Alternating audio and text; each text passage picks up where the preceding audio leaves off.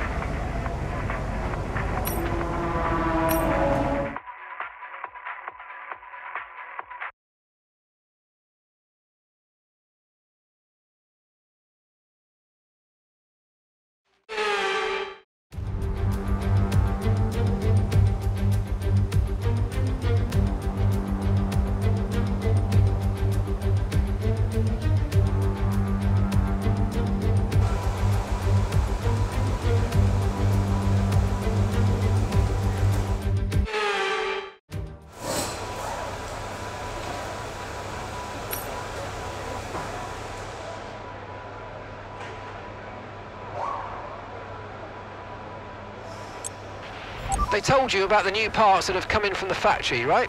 Well, they're all fitted and good to go. I hope they do the trick.